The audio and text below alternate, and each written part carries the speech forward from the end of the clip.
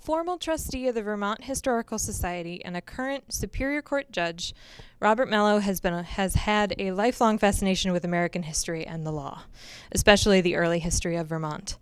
Tonight, Mello joins us to discuss his recent biography, Moses Robinson and the Founding of Vermont, about perhaps Vermont's most important founding father that you have never heard of. And I'm going to hand this off to Robert.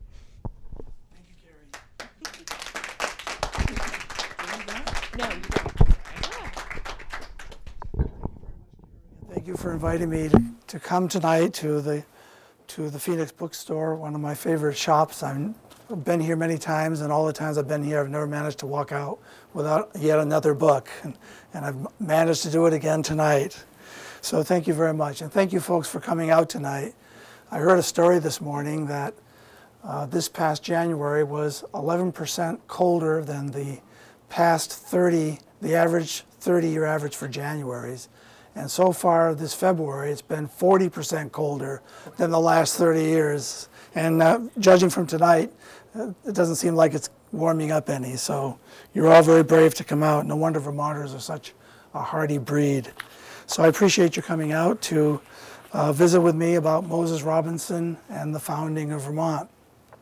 The book is published by the Vermont Historical Society it came out just in September, and the Historical Society, of course, is Vermont's premier organization for Vermont history. They provide education throughout the state for uh, kids as well as adults.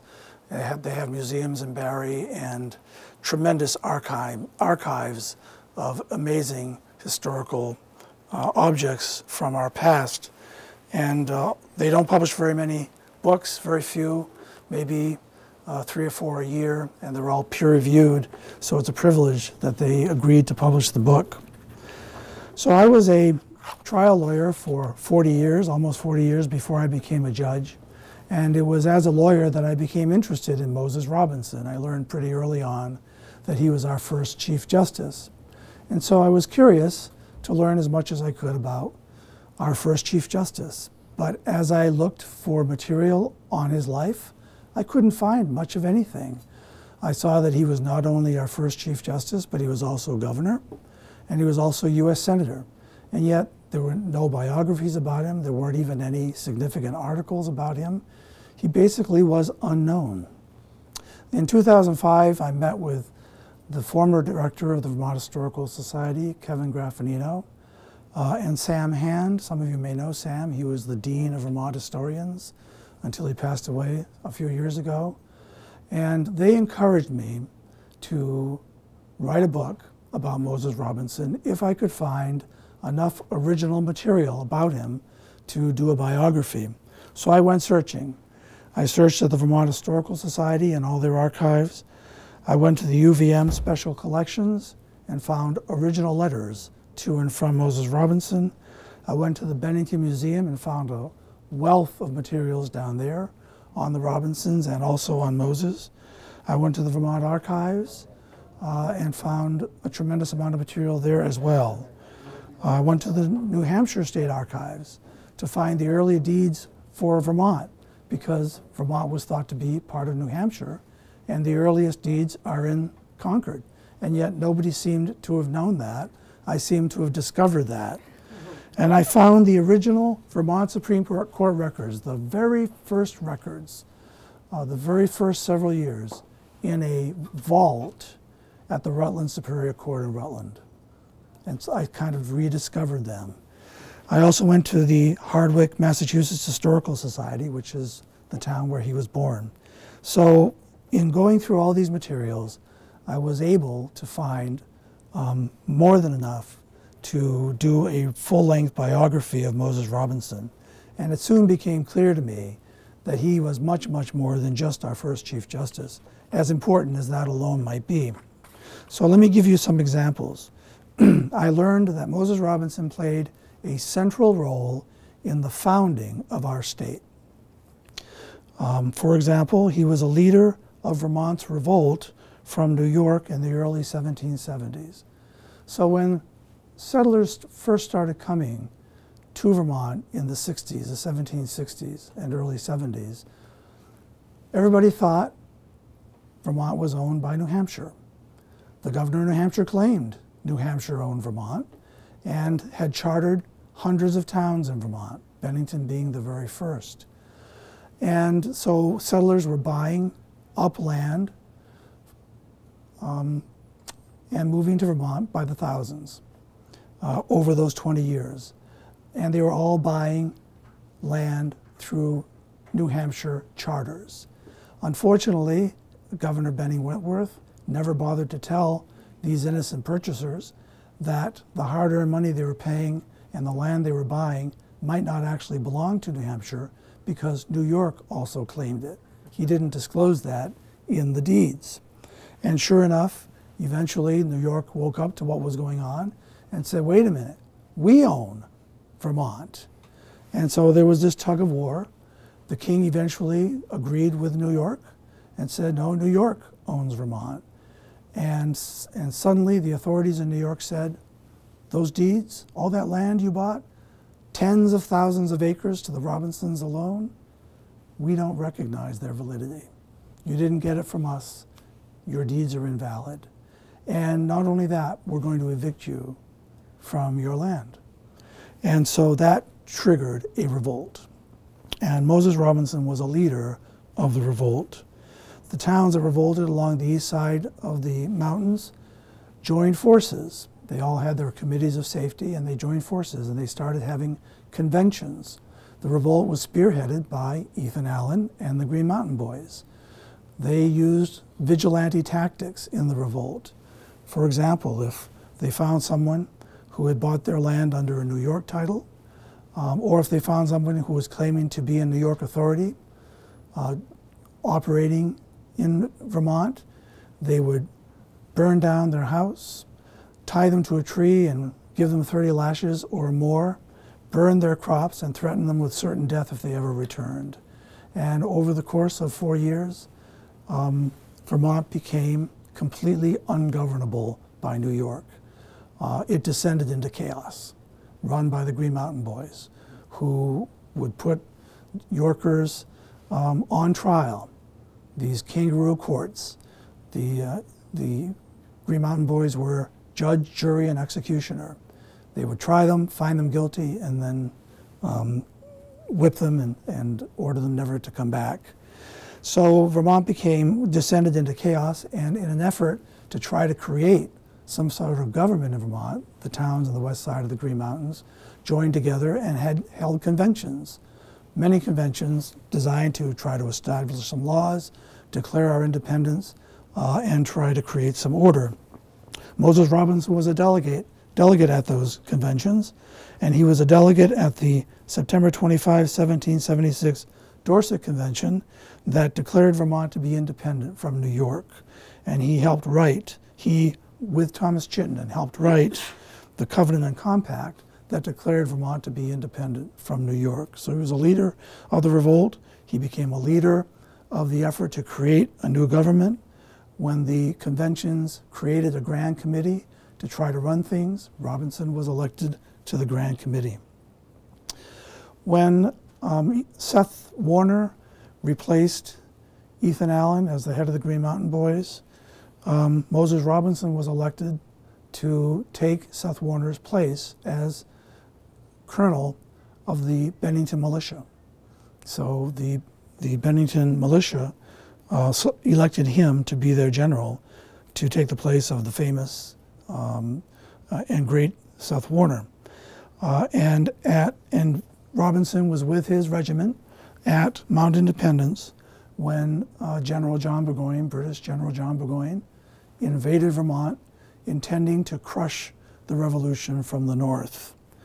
Uh, he invaded Vermont with over 7,500 um, soldiers and mercenaries and Native Americans uh, and quickly overwhelmed the small force that was trying to defend um, Fort Ticonderoga.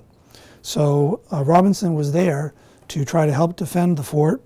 Uh, and when the general in charge of the American forces decided it was hopeless, he, Robinson was ordered to return to Bennington while Seth Warner was ordered to go to Hubbardton and fight a rearguard action so that the rest of the army could escape. so back in Bennington, uh, Moses Robinson uh, discovered that he had been elected. At the same time, all this is going on, as Burgoyne is, is, is, is laying siege to Fort Ticonderoga, Vermont's delegates are in Windsor adopting our Constitution and um, establishing our first government. Robinson wasn't there, he was with his regiment.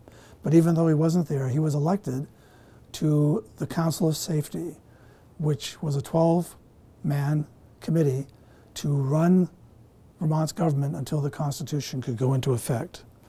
So, as a militia colonel and member of our first government, the Council of Safety, Robinson helped organize uh, the effort to defend Bennington against Burgoyne's um, army. And, um, um, and he helped organize the successful defense at the Battle of Bennington.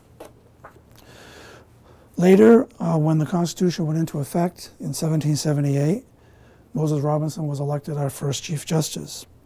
At the time he was elected, he, by the way, had no legal training. He never went to college. He had probably some common school education, but not much. There were no um, teachers in Hardwick, Massachusetts, where he grew up, who spent much time in his part of the town. So he had very little um, education. He was mostly homeschooled. Um, but yet, he became our first Chief Justice. None of the five justices were law trained. And at the time he was chief, he became Chief Justice. The court had no cases to hear, um, no rules to follow, no organized bar to call upon, no law books to consult, no budget. Except for a clerk, he had no staff.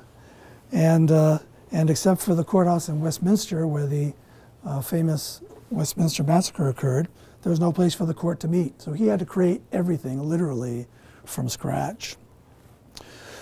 Um, in 1786, he was president of our first constitutional convention after the Windsor Convention of 1777. That was our first constitution. The Constitution had a provision that said every seven years we're going to elect, the people will elect this council of censors, and their job is going to be to see how the government's been doing to make sure that the government has been following the Constitution and have they been adopting any laws or policies that are unconstitutional and are there any things that need and are there any changes that we need to make to the constitution to improve it so the council of censors uh, met and this very formal uh, body um, was controlled by the political faction that would eventually become Vermont's Federalists. And they proposed changes to the Constitution that would have completely overturned the form of democracy we've inherited from our, from our founders. The Vermont Constitution of 1777 has been described by historians, historians as the most um, democratic constitution of all the states adopted up to that time. It provided for universal suffrage, which means women couldn't vote back then, but all men could vote who had reached the age of 21 and taken the freeman's oath. You didn't have to own any property. You didn't have to have any wealth. If you were 21 and took the oath and you were a Vermonter, you lived here for a year, you could vote. So it was universal suffrage. And um, everybody, every town governed itself through town meeting. And the, this Council of Censors uh, proposed that the Constitution be changed so that instead of it, instead of the General Assembly, for example, being elected by the people, it would be elected by county officials um, who were elected only by property owners, and the and the um, there would be property ownership requirements. So only the propertied people would control the government. It would have completely overturned our bottom grassroots democracy and turned it into the hands of the wealthy elite. Robinson became was elected president of the convention, and under his leadership, the convention rejected those amendments um, and also um, adopted uh, amendments that um, guaranteed the independence uh, and integrity of the judiciary. Many of the many of the provisions that were adopted in that Constitution of 1786 are still in our Constitution today. Robinson was obviously very proud of what he had accomplished and what his convention had accomplished because he signed the Second Constitution uh, on July 4th, 1786, 10 years to the day of the Declaration of Independence. So he was um, president of the Constitutional Convention that saved our very democratic form of government. Robinson was a member uh, of Thomas Chittenden's inner circle of closest advisors. He was a member of the Governor's Council um, during the, the first dozen years of our existence. And as a member of the council, he helped uh, Chittenden uh, deal with crisis after crisis, repeated invasions by the British into the north part of Vermont. Um, the Yorkers in, ben, in Windham County, um, in Windham County, the people there, the majority of people there, did not recognize this upstart government in Vermont. They um, wanted to remain part of New York, and they revolted repeatedly. And so there were these revolts they had to deal with. Plus, there was a tremendous amount of pressure in um, northeastern Vermont, centered um, around Windsor, where the people there wanted to create a separate state centered on the Connecticut River, consisting of towns in eastern Vermont and western New Hampshire. And so um, they threatened that if you, Vermont, go, Vermont don't annex the western third of New Hampshire, we, dozens of towns in eastern Vermont, are going to secede to New Hampshire or create our own state. So that they had all these crises, um, plus Tories, spies, British spies, and residents in Vermont, Vermonters, um, who were British sympathizers and were cooperating with the British. It's because of those Tories, for example, that Burgoyne learned Bennington had to, all those stores that he wanted to capture. So there were all these crises that, that Thomas Chittenden and Moses Robinson, who became the most, the, the, the most senior uh, counselor, had to deal with. So Moses Robinson, as I said, was the um, was a a close friend and a close um, colleague of Thomas Chittenden, but he was also a friend of Ethan and Ira Allen. And Robinson agreed with Chittenden, Ethan Allen, and Ira Allen on most issues. But Robinson was independent minded, and he disagreed with them on some very important issues, most notably statehood for Vermont. Ethan and Ira Allen were not in favor of statehood for Vermont. They were more interested in relationships with Canada, Britain through Canada. After all, they lived up here in northern Vermont. Robinson was down in southern Vermont. Robinson wanted us to be part of the state, part of, part of the union rather, joining Congress. The Allens wanted us to have the relationship with Canada instead. And Chittenden sided with, um, with the Allens on that issue. So Moses Robinson broke with Thomas Chittenden on the issue of statehood.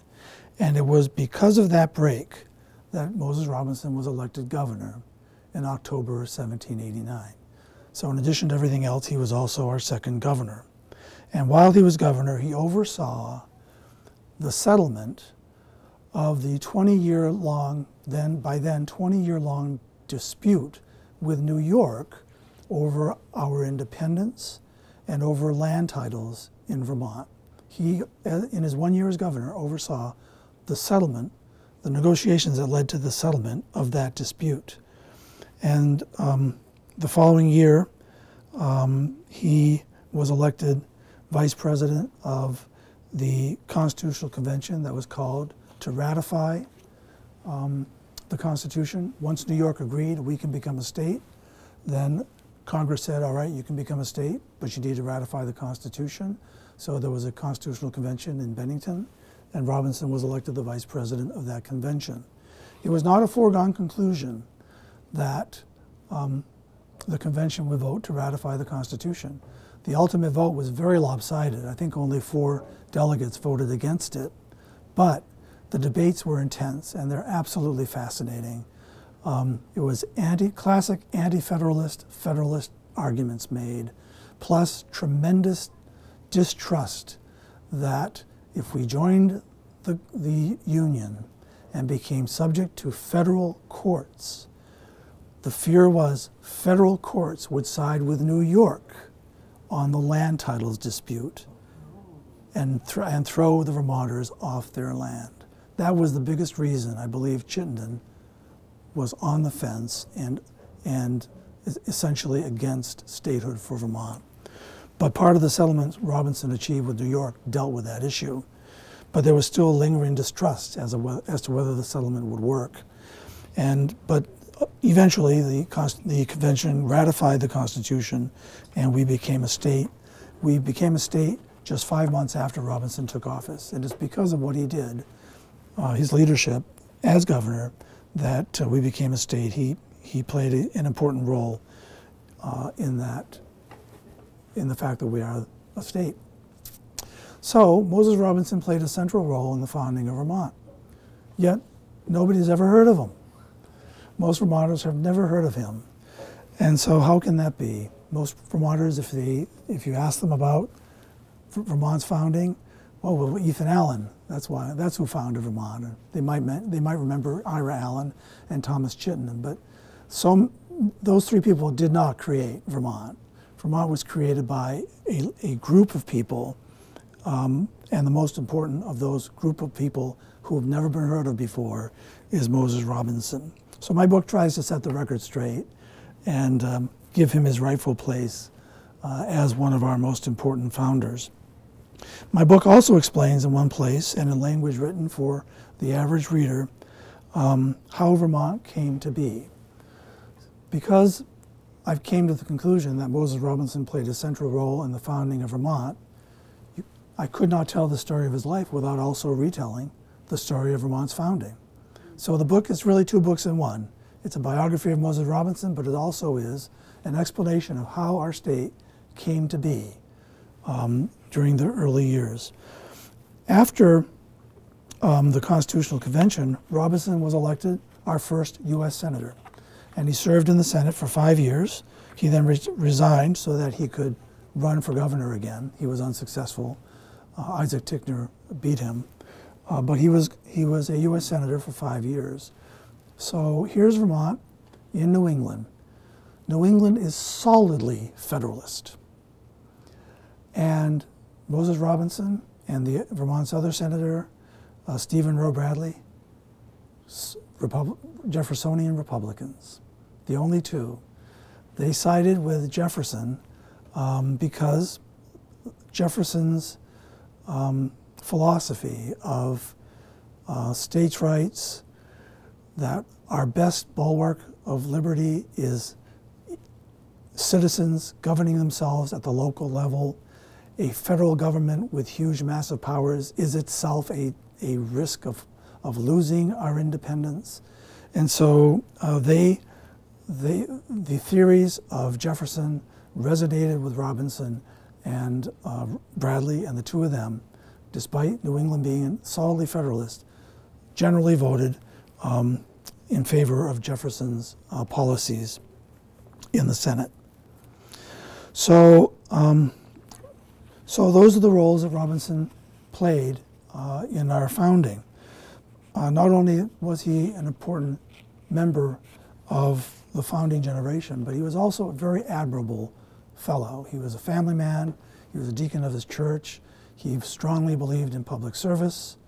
Um, he rubbed shoulders with the most important people of his day, um, George Washington, Jefferson, Madison, Adams, the, the Allens and Chittenden, but he never forgot the yeoman farmer, the small business person, the, the original settlers, the folks who fought the revolution, he never forgot them. He fought for their rights throughout his life, both uh, in, in the government here in Vermont and in the U.S. Senate. So I believe that he is not only a fascinating character because of what he did, but I think our youth, who young young Vermonters who are, might be considering careers in public service would find him um, an inspiration. Uh, and I think we also can learn a great deal from Moses Robinson um, because uh, Moses Robinson lived through and helped our state, our fledgling state, survive economic downturns, protracted wars, political polarization, negative campaign tactics, and gridlock in government.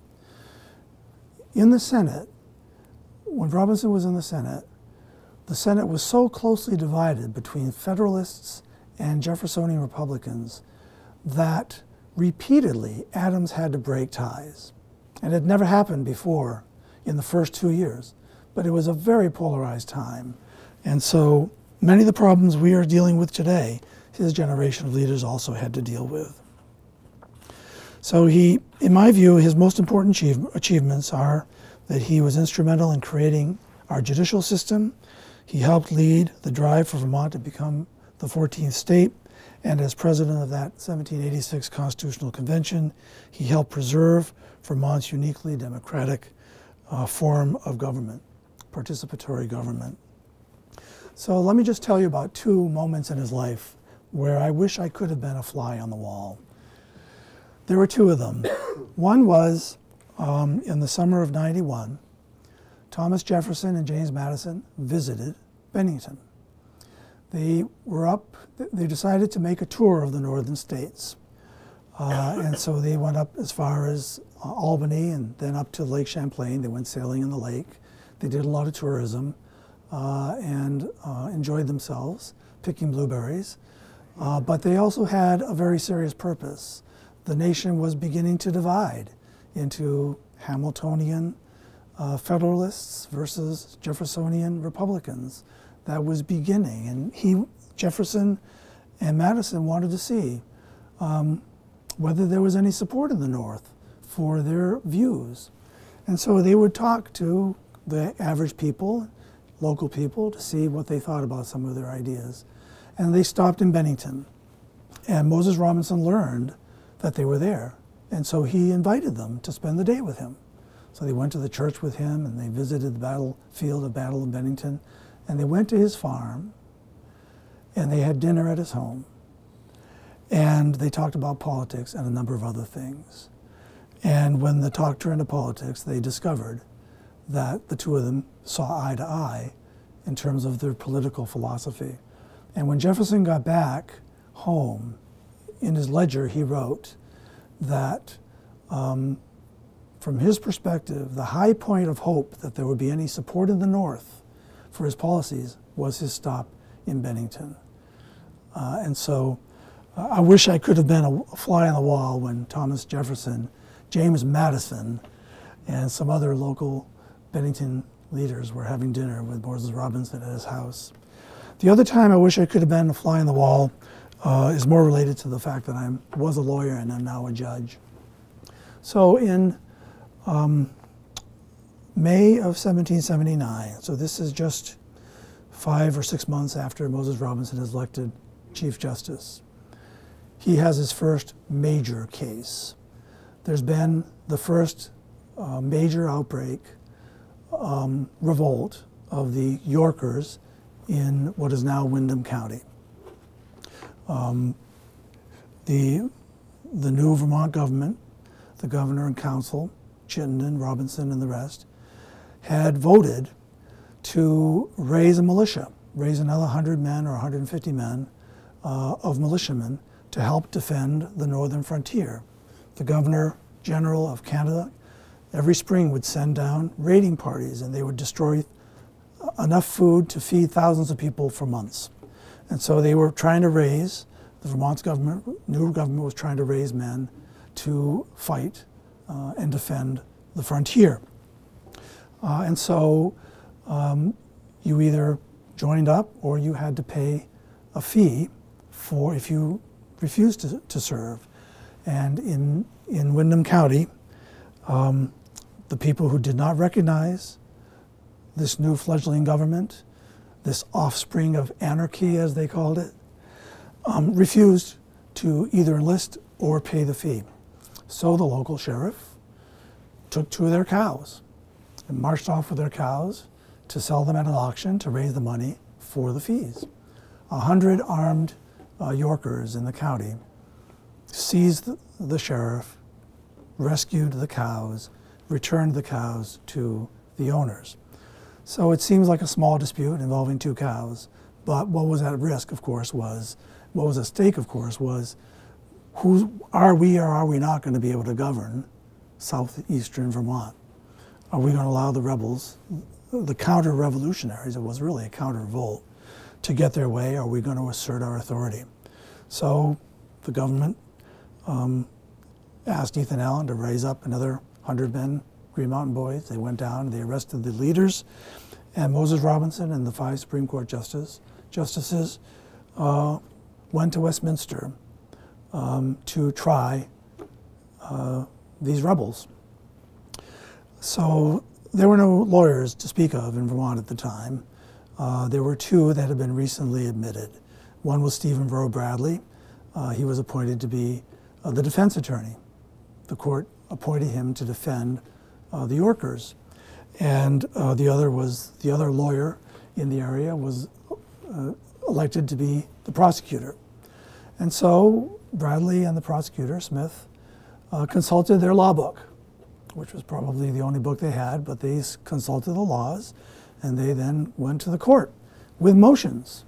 One of the motions was you need to, you need to dismiss these three charges, Judge, because uh, these three men were under the age of 21. They were minors and therefore they can't be charged uh, as adults. And so Robinson said, that's the law, they're dismissed.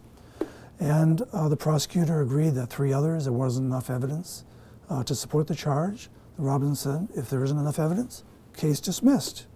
Well, Ethan Allen then heard that people were being dismissed and let go from by the court, something the Green Mountain Boys never did in their uh, impromptu kangaroo trials. So Ethan Allen, in full regalia, as a general, full military regalia, with his sword, marches into the court and starts lambasting the lawyers for their excessive reliance on law books. He said, My reasoning from the, from the fitness, the eternal fitness of things is better logic than your Blackstones, and, and he made a joke of it. Um, so uh, then Robinson, when he realized, when, when he got over the shock of, the, of this appearance, he said, General, um, you cannot wear a sword in this court. You know, you need to respect the court, and you know, if you want to speak, you need to ask for permission. So Ethan Allen throws down his hat, takes off his sword, and continues to berate the lawyers. And then he turns to Robinson and said, Don't you dare let these people out slip through your fingers. And then marches out. They hadn't been convicted of anything yet. So I wish I had been a fly on the wall that day when Robinson um, confronted Ethan Allen. Um, and Robinson said, No, we're not going to follow the ways of the Green Mountain Boys. We're not going to have a kangaroo court. We're not going to have a, um, um, a lawless trial. I'm going to follow the law. And he continued to rule on motions. And the next motion was a motion by Bradley that said there are two counts here. One is a count of common law um, treason, and the other was a count uh, of, of treason by statute. And he said, you can't, you can't convict these people under the statute because although the statute had been enacted, it hadn't been published the public people had no way to know it was the law. Robinson said, "That's right. That's that's uh, we're you, we're going to throw that count out. If you're going to get a conviction, it has to be on the common law." So he followed the rule of law. He he left behind, even though he had been a leader of the revolt, the ways of the of the Green Mountain Boys, uh, and followed the law. And we've been following the law ever since. So I'd be happy to answer any questions or go upstairs to sign any books. But thank you very much for coming. I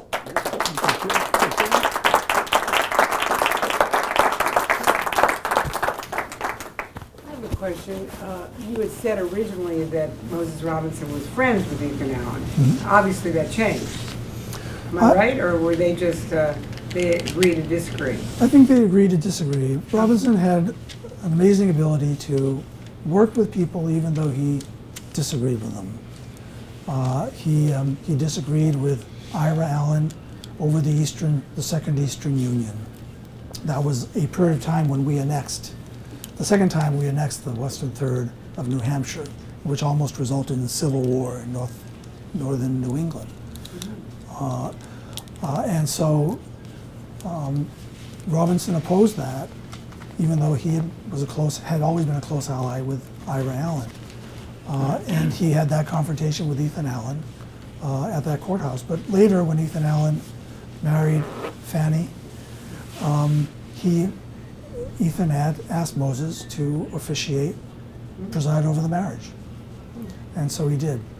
Um, Moses Robinson supported the French Revolution. He, well, he supported Thomas Jefferson, and he was a friend of Ethan Allen, even though both of them were deists. Ethan Moses Robinson was a deacon of his church, profoundly a religious man.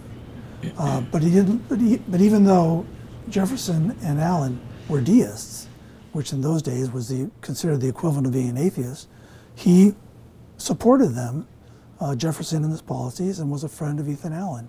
And he supported the French Revolution, even though the French Revolution was led by avowed atheists. So he could disagree with people, even profoundly, but still work with them.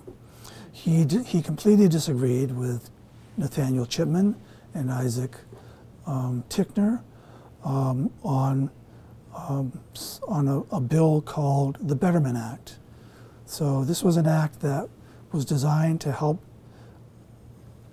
frontiers, frontier settlers who had purchased land based on very poor and inaccurate surveys and then had built their farms on the land only to find out that they didn't own it. Somebody else did. And so um, Moses Robinson, Thomas Chittenden, uh, and others strongly supported something called the Betterment Act, which basically said if you um, go on, if you settle on land in the good faith belief that you own it, uh, and you put betterments on it, you make improvements, and it turns out you don't own it, under the common law, you are out of luck. But under this Betterment Act, you, you could get the value of your improvements. Plus, if you had improved the value of the land, you get a part of that too. Bitter debates in the legislature over that bill. And Robinson went to the mat with Chipman and Tichenor on that. And yet he could work with them later on statehood. So he was able to disagree with people fundamentally uh, and strongly, and yet still be able to work with them on other issues. So on, on that last point, I thought adverse possession was an old common law doctrine. Why didn't adverse possession Well, these folks? Maybe then this would be before the 15 years were up. This is before the 15 years were up. Yeah. Another question. I- I'm about a third of the way through your book. Oh, good. Yeah. And um, during the mid-Revolutionary War, uh, there were at least two or three occasions when Congress was supposed to decide the land dispute between New York, New Hampshire, and the Vermont uh, occupiers, let's say, but they never quite got around to it. Right. And um, uh, I don't think that you explain it, uh, why. Was that because they were distracted by the war? Was that because it was too divisive, or was there some other reason? No. Um, this is a very interesting subject all in itself. Uh, but in a nutshell, uh, the revolution, the War of Independence left Vermont independent, both of Great Britain and the United States. We ended up being, people debate whether we were a republic or not, but whatever we were, we were independent of both. Congress considered Vermont to be a danger to the, to the republic uh, because of the dispute with New York. And not only with New York, New Hampshire claimed to own part of Vermont, New York did, and even Massachusetts did for a while. And so we were a real thorn in Congress's side. Plus, we were negotiating with the British to try to keep them from, um, from any more raids like burning Royalton, for example. And they didn't like that either. So um, New York kept repeatedly pestering Congress, will you please act on our claim to own Vermont? And so New York was one of the largest states in the Union. Uh, so they carried a lot of clout. And so Congress did several times say, okay, we're going to decide it. We're going to have a trial. And we're going to have all the parties come, including Vermont, and they can tell us what they want to do, and then we will decide this issue for once and for all. Now, this is not the Congress we have now, this is the Continental Congress under the old Articles of Confederation. Um, unfortunately, under the Articles of Confederation, Congress could not do anything unless they had a nine vote. Nine states voted for it. And every time the question of statehood for Vermont came up, New York and New Hampshire and the four southern states would always block it. So close, closest we ever came until Moses Robinson helped settle our dispute with New York was seven states. New York didn't want to see us become a state because they thought they owned us. New Hampshire didn't want us to become a state because they felt the same way. And the southern states didn't want to see another northern state in Congress um, because that would tip the balance of power in Congress. Which is a good segue into my next question, which is, do you think the relationship that Robinson made with Madison and Jefferson when they visited um, helped us become a state because the Southerners thought maybe we would be with them? We already were a state. Oh, at that point? We already were a state. Okay. Yeah, we became a state just five months after Robinson stepped down. Um, so Robinson presided over the settlement with New York. Chittenden is reelected governor. But the legislature then approves Robinson's settlement, approves the tax to pay the $30,000 to New York, and, and votes to apply for statehood. And um, uh, Congress accepts the, accepts the application. Washington signs a document saying on March 4th, I think it was, Vermont will be a state. And um, that was all done very shortly after Robinson stepped down. But wasn't it critical that Kentucky then became the 14th state so that the balance of power was maintained between the North and the South?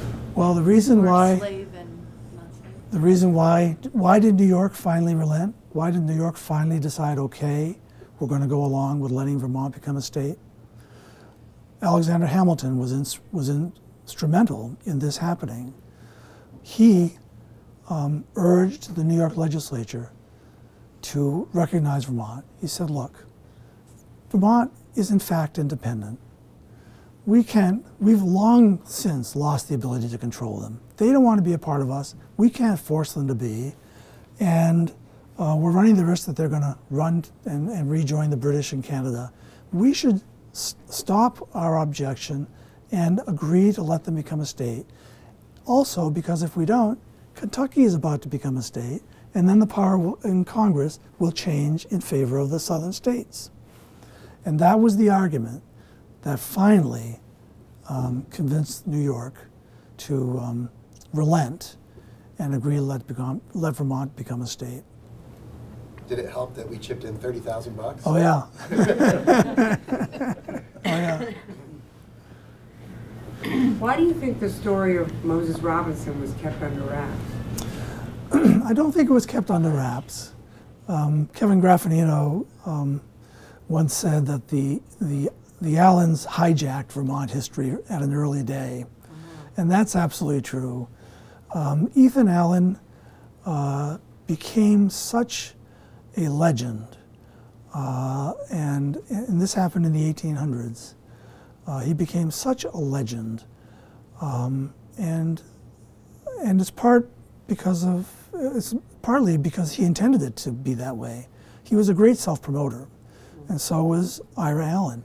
They wrote they wrote beautifully, they wrote persuasively, they wrote powerfully, and so um, uh, and they were centrally important.